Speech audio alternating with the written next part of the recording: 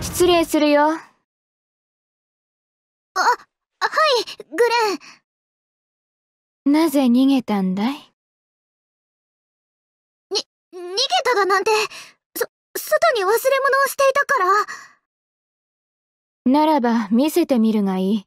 君が取りに来たものを。なぜ逃げた？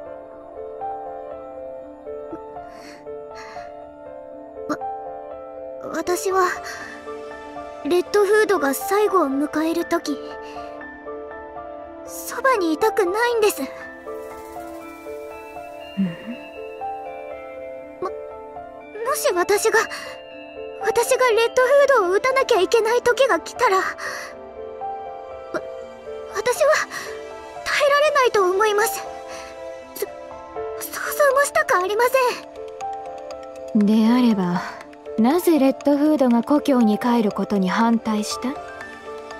それは私たちと一緒に最後までいてほしくて。実に勝手な物言いだな。レッドフードの最後は見取りたいがそれに関わりたくはない。レッドフードは君にとって何だ？ただ楽しいことだけをする関係かね？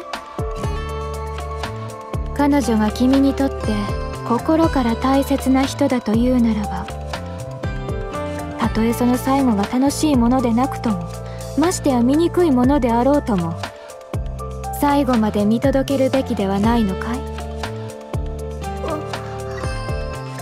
さあ戻ろう。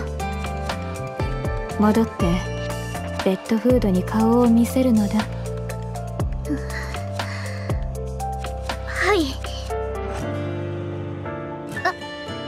りがとうございます。グレン。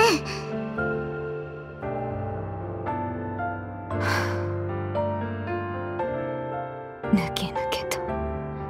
己が果たせなかったことを人にはよく言えたものだ。